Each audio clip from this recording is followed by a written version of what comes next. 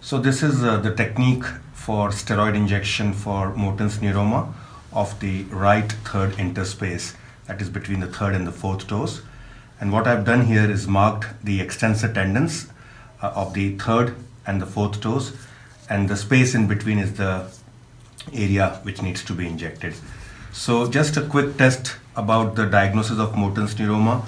The test I use is thumb index finger squeeze.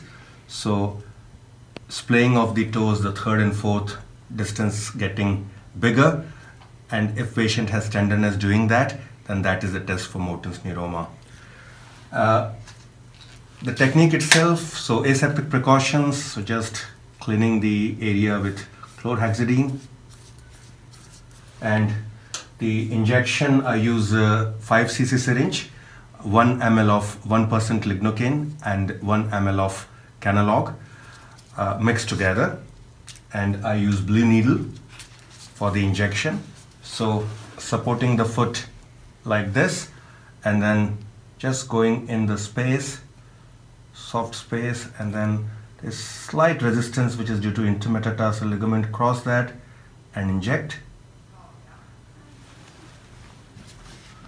And that's all done.